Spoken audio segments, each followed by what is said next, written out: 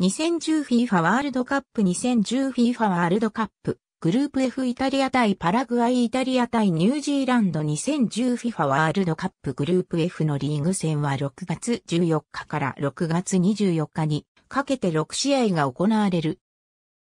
グループ F にはイタリア、ニュージーランド、パラグアイ、スロバキアの4カ国が入っており、試合の勝敗による勝ち点などでグループ内での順位が決まり、上位2チームが決勝トーナメントに進出する。